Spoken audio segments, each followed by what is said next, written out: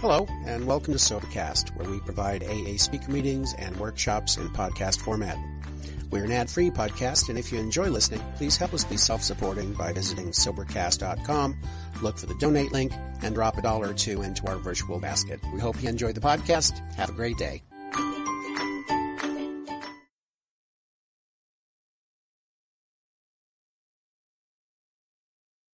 Hello.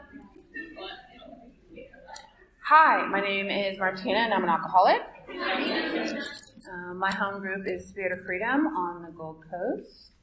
You're all welcome on a Tuesday night. Uh, welcome to the AusYPAA Convention. Um, some housekeeping. Um, the toilets are, I'm sure you guys have all figured out where the toilets are. They're right there in the foyer. Um, smoking is all the way to the right side as you leave the building. Um, there's some butt cans there and tea and coffee are available all day long in the foyer. Um, in case of emergency, um,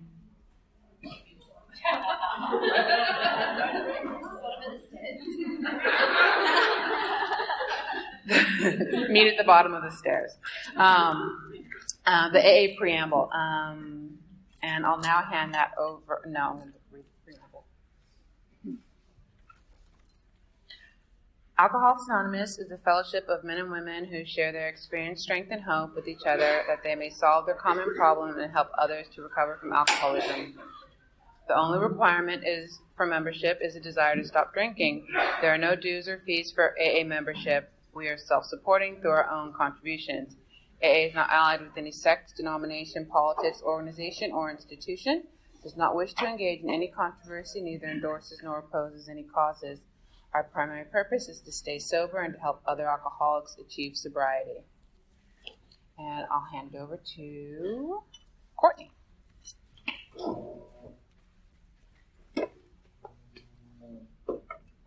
Too short for this. uh, hi, my name is Courtney and I'm an alcoholic. Uh, the format of this meeting is that we have two guest speakers sharing for 10 minutes each. We will then be selecting people from around the room to share for five minutes each, concluding the meeting with a final 10 minute guest speaker. Speakers will get a one minute wrap it up card along with a finish card. if you've already been asked to share at this convention, please decline to give others a chance.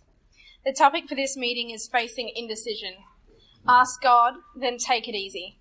The reading comes from the big book Alcoholics Anonymous, page 86.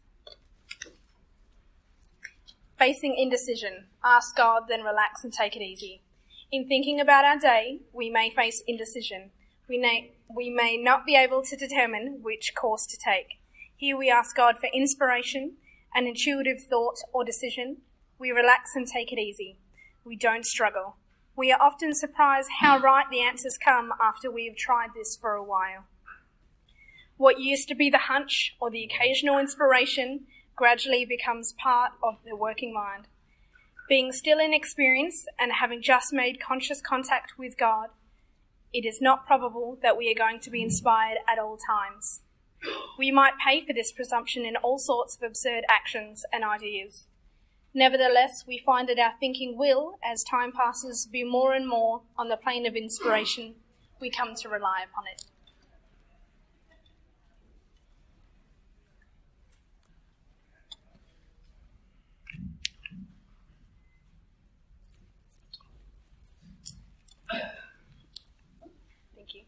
I will now call our first speaker, uh, Tiffany I from Bray Park. Oh, sorry.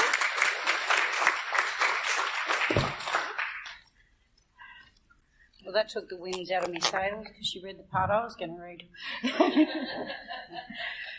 uh, my name's Tiffany. I'm an alcoholic. Sorry, um, I feel very privileged to be asked on this is really nerve wracking for me. My first line of all I could think of was uh, being asked to um, about facing indecisions, and I'm really undecided about what I'm going to share. But um, for me, like I had to really, like I've been thinking about this for a while, and of course I did the alcoholic thing, you know, at two o'clock in the morning, and you know, did about six shares in my head before I handed it over, and you know, that's usual for me. I don't think I'm alone there, and um, that part that she just wrote on page 86, just before it, is actually lost my spot. What I really like is just before it is actually under these conditions we can employ our mental faculties with assurance, for after all, God gave us brains to use. Our thought life will be placed on a much higher plane when our thinking is cleared of wrong motives. And for me, indecision comes when I ain't too sure about my motives. That's when indecision shows up. When it's the, am I getting something I want, but at the cost of something else? Do you know what I mean? Like that's when my indecision comes up. I um, I was given an opportunity actually not that long ago, uh, quite recently actually, and um, uh, it was an opportunity presented to me from a, a friend of a friend's, but my partner's not talking to the friend that knows the friend, right? So I've been given offered something by this person, and and instantly my brain's gone, oh, I'm going to murky the waters. Oh, no, I can't do this. I can't do it. I can't accept it. And I had to sit down. I actually had to pray about it. And my uncomfortability, of course, was doing something that may hurt my partner. But what I realised is I wasn't actually dealing with that person. I was dealing with another person, and it was a purely business deal. And that, you know, because it's funny, because my first thought isn't always right. You know, I'm not always for me, stuff's done at a gut level. Um, but for me, at the end of the day, it, it's not about me, it's about God. It's about that when I hit that, that bump and my gut does that flip flop and I go, oh, hold on, I'm not comfortable. I have to make a decision here, you know? It's about that wait, stop, pause, you know? And then I used to do the, uh, the cower and the hide, and the if I don't make a decision, then I'm not going to have to worry about it. But actually, not making a decision is also a decision, also.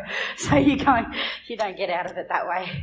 So um, I just, sorry, I feel really nervous. I really do, um, and I feel a bit out of my depth right now. Because uh, what do I have to say?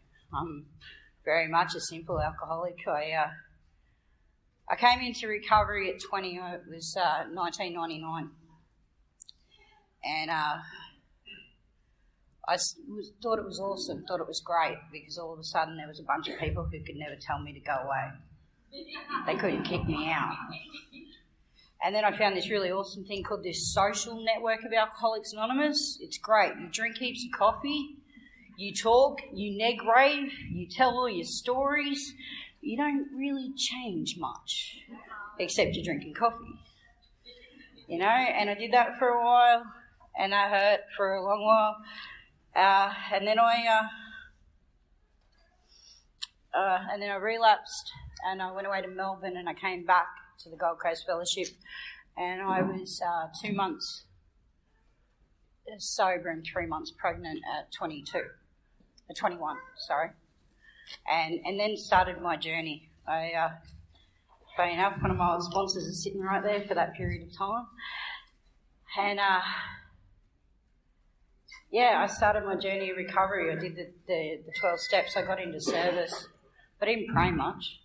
You know, I got into the working side. So I moved from the social side of Alcoholics Anonymous to the working side of it, where I did so much service, and did so much judgment on everybody else who didn't do service, you know, and uh, decided that I had come, you know, was was it because I did service, and uh, you know, I learned my lesson there, and I uh, relapsed after 11 years of recovery, and I relapsed for nine months in that journey of learning that I was the service guru of Alcoholics Anonymous, I also got a husband and made him my higher power, so that was great.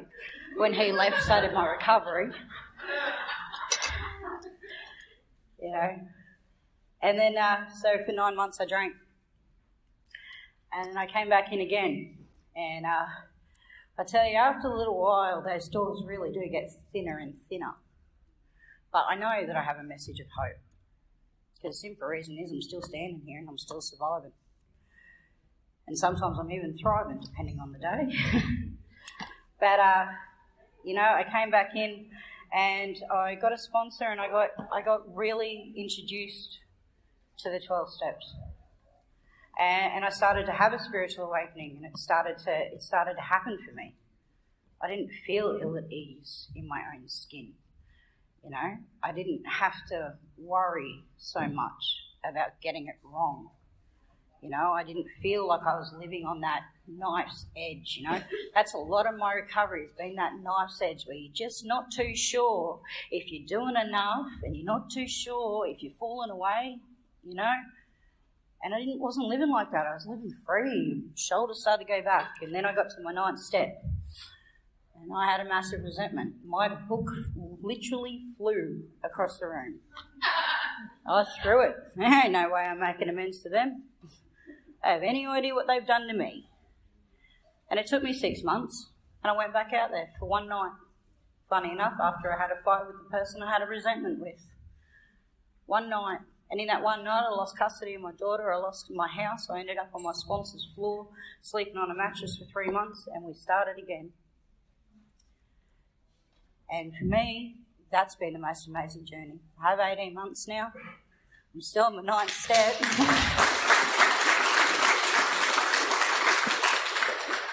still on my ninth step, but I haven't thrown the book yet. and I have started. I did go back. I'm not. Didn't start my ninth step. I went back to step one.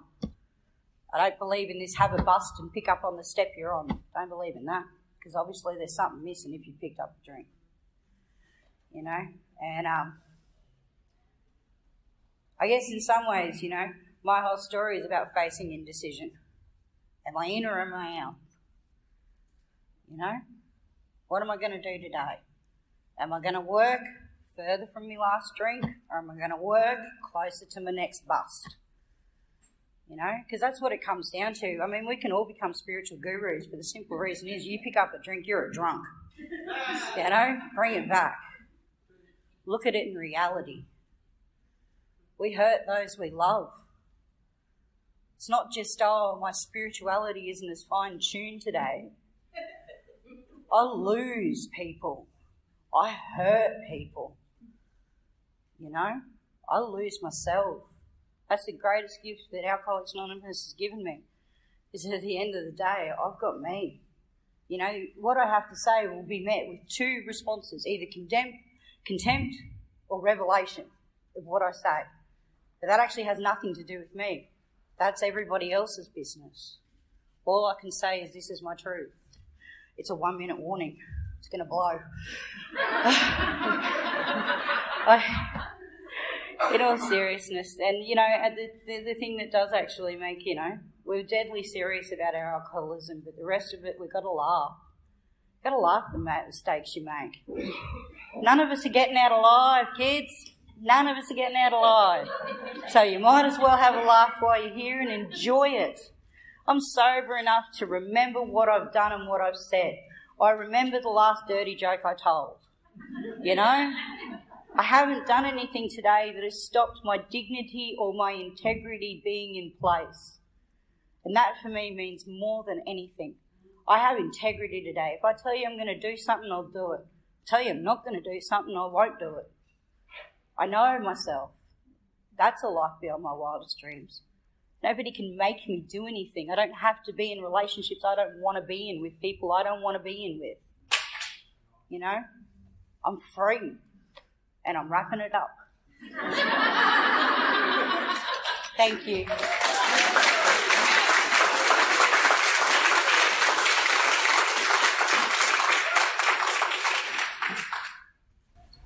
And our second speaker, guest speaker, is Diana from New Zealand.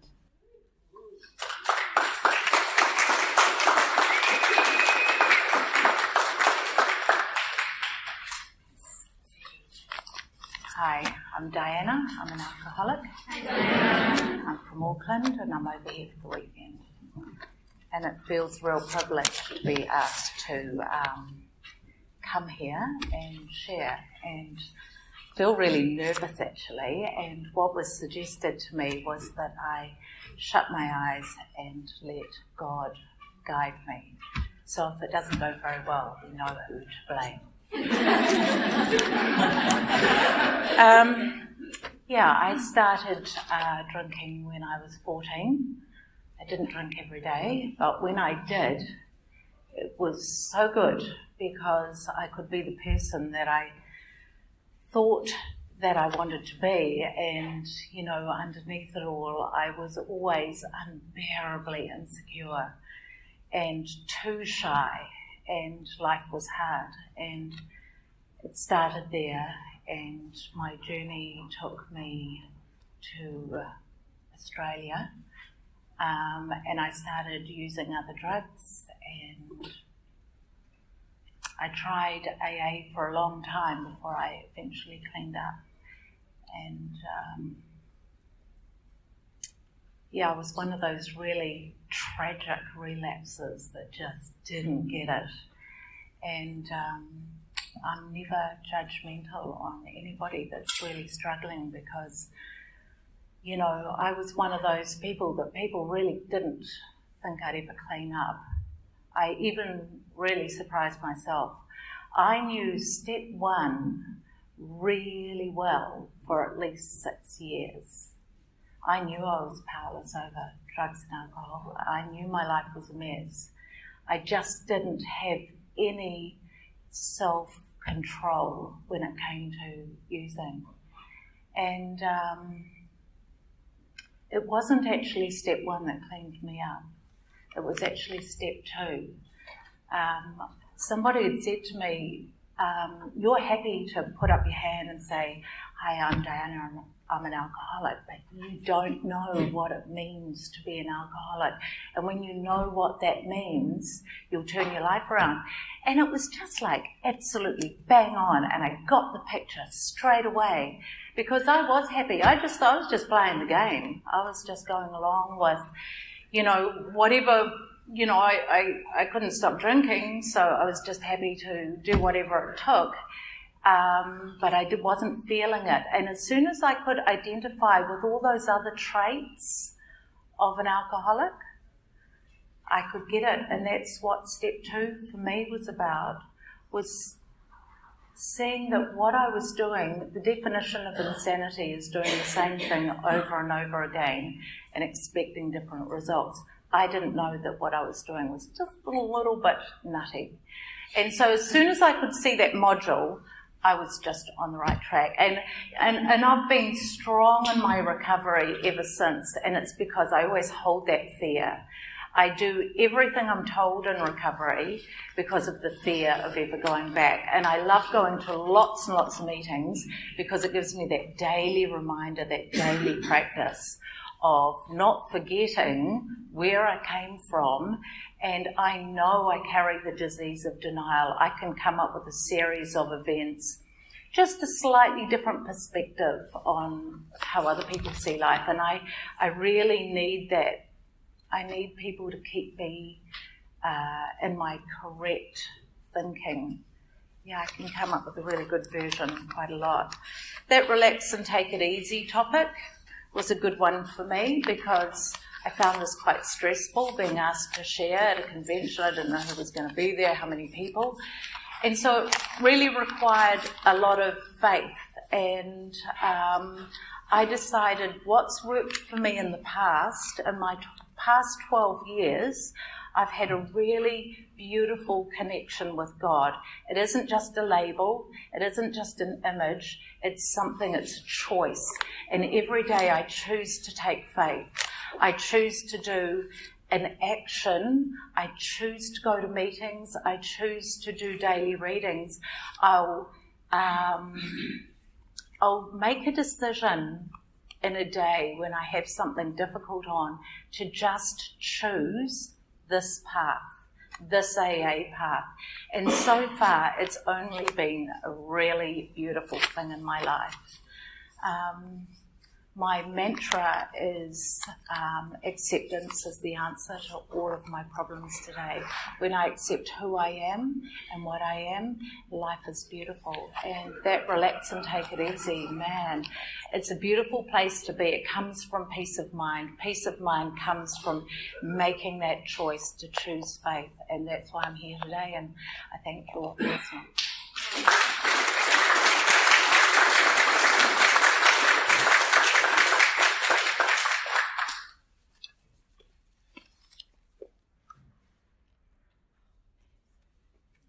Alrighty, uh, next speaker, Carlos from Byron Bay, if he's here. Oh, okay. Hi, Carlos. Let's have a look. Uh, Lee from New Farm Thursday night.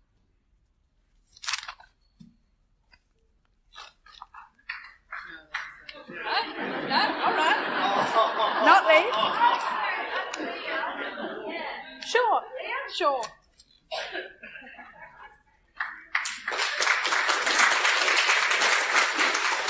I'm Leah. I'm an alcoholic. Wow, indecision. It's, it's stuff just actually started. Light bulbs went off for me just then because um, my family liked to tell funny stories about me as a kid with indecision, and I, my grandma especially. I remember she took um, my brother and I to a toy store, and I would have been about six or seven, and he was about three or four. Um, and um, he just went straight for the football. And she retells this story all the time, and I could not decide which thing I wanted. And this went on and on to the point where I was in an absolute state. Um, and this behaviour never stopped. Um, and it's I only remember that story just then, and it all kind of made decision because again, and I think um, the previous speaker was talking about it, just the motivation behind decision making, and you know, in that situation, it's like, oh well, maybe I want this, and um, this could be better, or um, and through my life.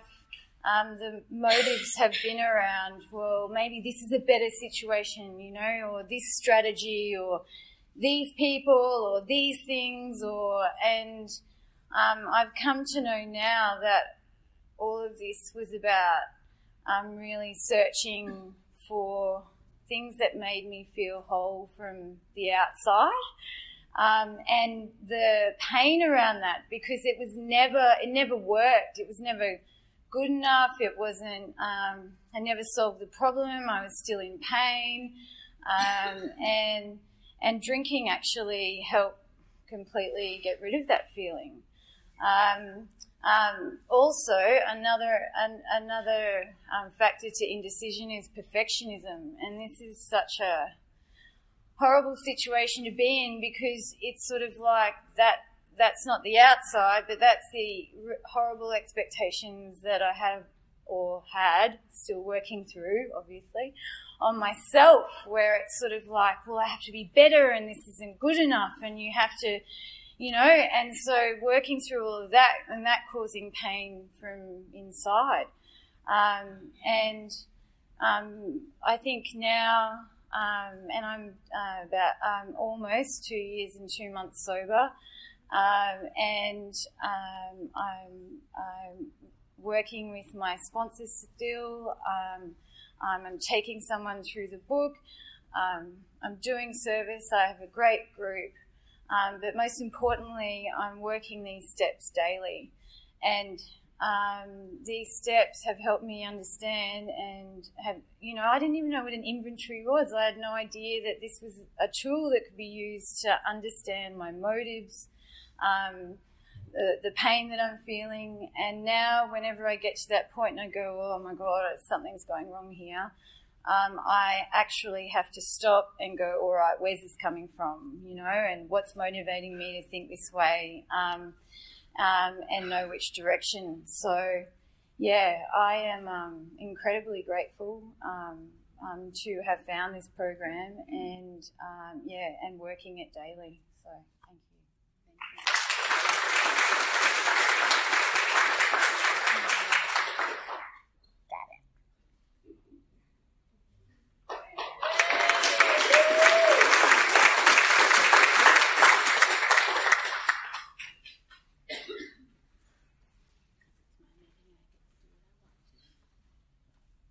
Hello, I'm Andrew, and I'm a proud alcoholic.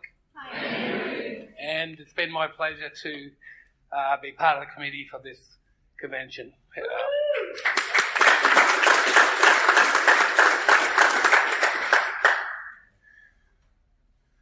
So, uh, you know, two years ago, I was a man dying alone of this disease. Um, my life was tiny, and I was just about disappearing up my own ass.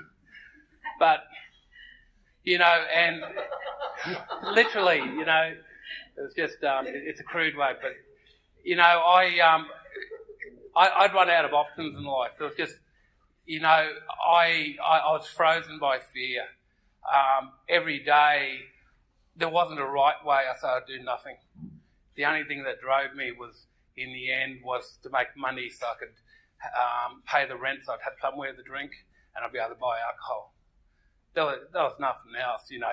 And you know, all I can say is fear drove me for so many years to the point, and I'd keep on trying to keep myself safe, but it kept on making my life smaller, you know. And alcohol created this illusion of a safe space at the end of the day. I was a nightly binge drinker. I drank as much as I could. But in the end, and towards the end of my drinking, even alcohol didn't work. It wouldn't shut down my brain unless I totally passed out. Um, and, you know, I, I could just shut myself down completely, or I'd be awake and I'd be full of fear. I'd feel like something, something was crushing my guts every day. Um, and it was just, you know, it was, it was, a torturous existence, and I just couldn't keep on going this way. And um, you know, I, and I think it's God given that it, it, was a remarkable thing that I'd helped somebody out, and then they helped me out. Um, I think I had a little bit of uh, uh, humanity left, and I. Um, and I helped somebody out for no other reason than they needed a hand um, an old woman who had survivor's guilt, who'd lost a son to cancer. I supported her, and then she supported me, and I and I remember, and I thought somebody cares about me. You know, maybe I'm worth saving because I've never had that any time in my life. I always thought, um, deep down, I thought I was worthless, and I wasn't. I always wondered what the point was. So, you know, and and one day I just outed myself and I said I can't stop drinking to one of my bosses, and and I was, it was remarkable because I thought nobody cared a shit about Andrew, but uh, everybody jumped to support me, you know, and uh, you know, and I was in a detox two weeks later, and a week later I was in AA, and coming into these rooms, I was, um, you know, I, I felt remarkably alone. I felt I had got nothing in common with these people, but I had the arrogance of a, uh, you know, judging from the gutter, and I thought I was better than everybody else. I was comparing to my, I was saying, how am I different to all these people? And, you know, I can proudly say two years later, I uh, relate to every single person I hear in these rooms. Um, so, you know, but what this is about is finding God and then letting God, God, God guide my thinking. And um, I feel so sad that when I hear people in the rooms and people in my life that are in AA who um, are faced by dilemma, indecision, by stress and worry, that they forget God because what saved me was getting down on my knees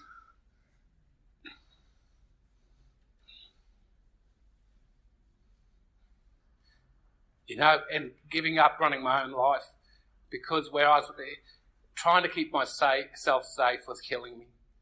And um, all I can say to anybody that's coming in, this is it's frightening doing.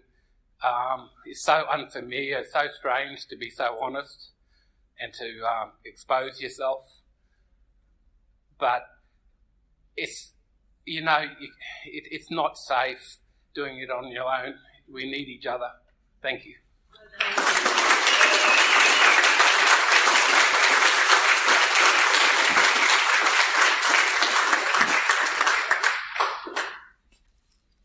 Uh, I will now call the final guest speaker, Lisa T from Sutton's Beach.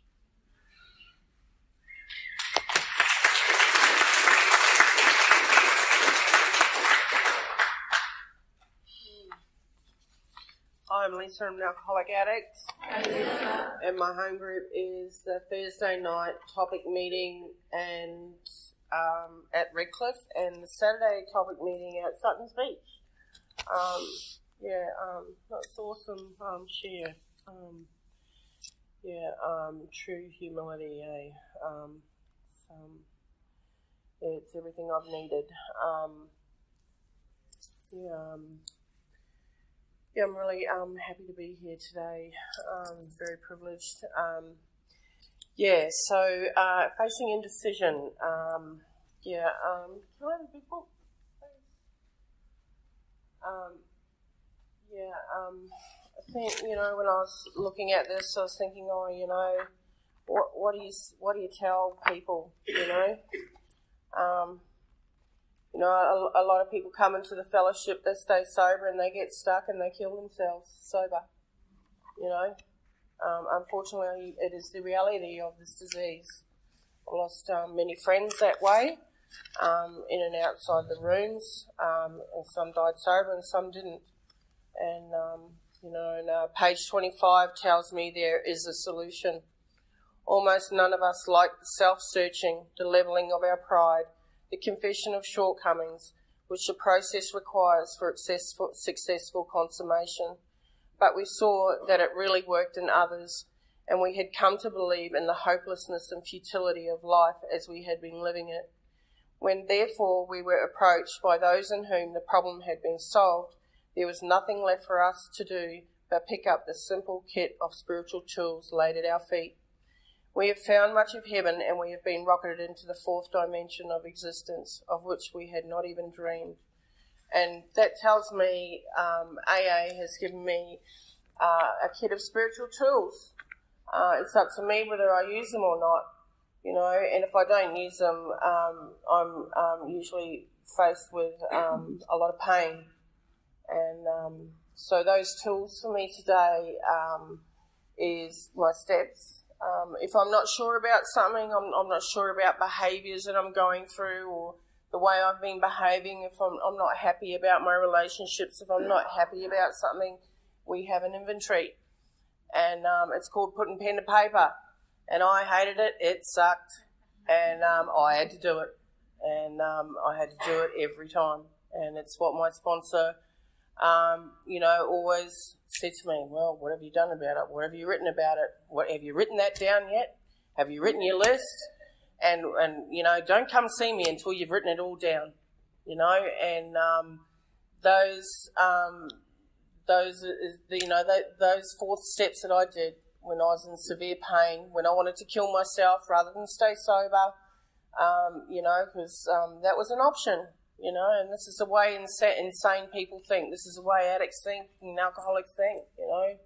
Um, it was all familiar and um, comfortable to me to just, you know, well, well, we'll just stuff it all. You know, that one, you know, put your hands up in the air and just go, well, fuck it all. You know, that I've always lived like that. I'd always lived like that until I got given a kit of spiritual tools, which my sponsor so patiently took me through and um, and was kind enough to listen to me and um, show me compassion and, and um, you know and accept me when I couldn't accept myself, you know, and love me when I couldn't love myself. So yeah, so um, my my steps are my spiritual tool. My prayer and meditation is my um, spiritual tool.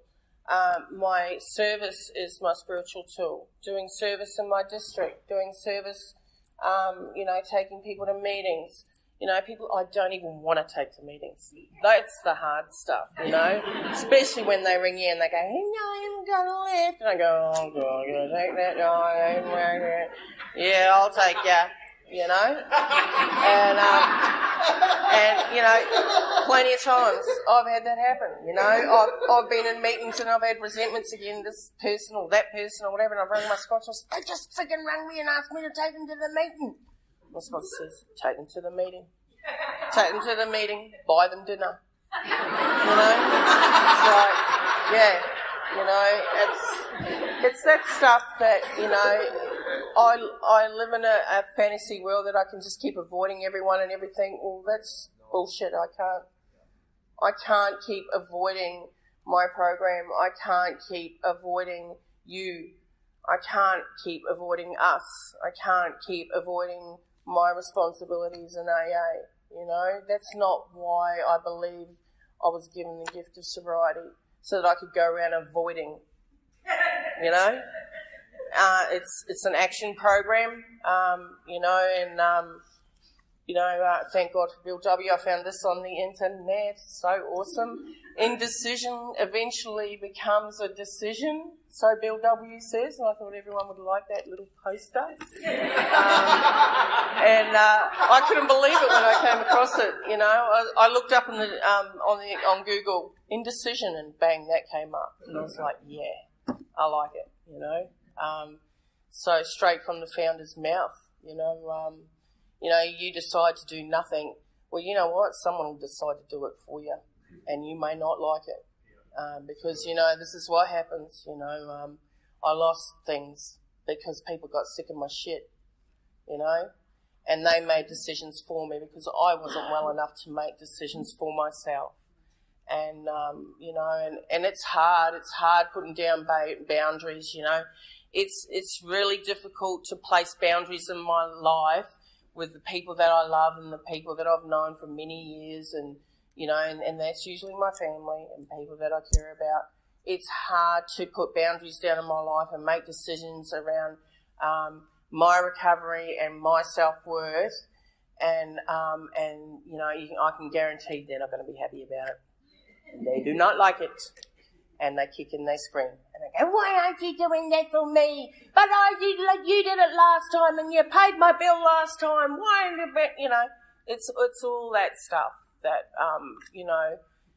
You know, there's a certain amount of um, suffering in decision making, but in the long run, when I put those boundaries down in my life, I'm saying no, no more. I've had enough. Because for once in my life, I'm saying, to thine own self be true.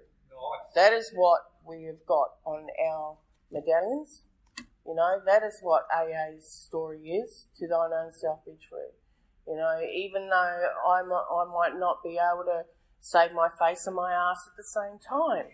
You know, I can't always be pleasing my partner when I want to say, no, I'm not doing that, babe. No, I'm not doing that anymore. You know, no kids, I'm not doing that anymore. You know, and that stuff's really hard. No, mum, I'm not putting up with your shit anymore. I'm leaving now. I've stayed for my five minutes. I'm out of here. Gone. You know? I'm sick of the 20 years of you telling me that I'm nothing and I'm always going to be nothing. You know? All this sort of stuff, you know? Getting away from, you know, all the shame based dysfunctionality that we grow up with, you know, and, um, and making decisions that, you know, will not only change my life, but change the lives of people that I have an opportunity to help, you know. And um, I, I love AA, you know, and um, shit I be dead, you know, 10, 20 times over. I don't know how many times, you know. And um, it, it, being sober is not easy. Living the program is not easy. Doing shit that I don't want to do, you know. I've spent most of my life in addiction, and I've always done what I wanted to do when I wanted to do it you know, and if you don't like it, too bad. But then I come to, you know, sobriety and, and I, you know, and I trust someone and I tell them everything. And then they start telling me the truth about what I need to do, which is take responsibility and I hate it, you know, and, but I have to grow up. Uh, I, I realise today I must grow up or I will suffer. And, you know, I, I don't want to be sober with a gun to my, to my mouth you know, with a gun to my head. You know, I don't want to be sober and going mad because I've been sober and I've been mad, you know, and I don't like it. And, um, you know, in, indecision is based on fear. Most of my inventories are based on fear. Um, thank you. Um, you know, and so it's about, well, what am I going to do? Am I going to pick up the kit of spiritual tools um, Am I going to pray about it? Am I going to stop, think, and pray about it? Am I going to ring my sponsor? Am I going to talk to an older sober member about it? Or am I just going to keep doing the isolating, the doing in my own head, think, think, think, think myself into a drink? Yeah, yeah, yeah. How does that work out for you? You know, like, it's shit. You know, it means relapse. It means come back when I've dragged my butt, you know, like I was eight years clean, sober, And, you know, 10 years it took me to get what I have today, which is two years and four months clean and sober. You know? And. And I, I don't want to lose that. It's been the best sobriety I've ever had, but I've had to fight for it. I've had to surrender, surrender and surrender and surrender till the cows come home, you know, and, um, and I've had to grow up, and that's been the hardest thing I've ever had to do. And um, yeah, I um, yeah, I just wish you all the best and um, enjoy the journey. Um, from um, the guys from the Sunshine Coast always say, you know, that the longest journey is from the head to the heart. And um, you know, I wish you all well. Thank you.